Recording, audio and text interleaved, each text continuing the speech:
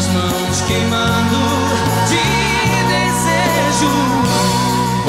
Jean e Giovanni, sucesso da canção Dói. Será que não vê que eu falo sério? De Paulo Debetio e Paulinho Rezende. Falando aqui do Rio de Janeiro, aonde moram esses dois compositores. Um pernambucano, outro carioca, mas porém os dois são cariocas de coração porque estão aqui há muito tempo. Porque estão aqui há muito tempo, principalmente Paulinho Rezende, que é carioca de Niterói.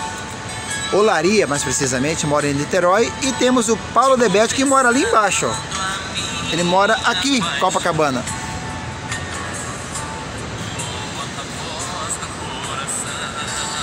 E aqui estamos hoje a um passo do Cristo que está lá embaixo, aqui, para falar para vocês uma coisa curiosa. Vocês aí sabiam que esse álbum foi produzido por um produtor, né? Que é o Paulo Debetio.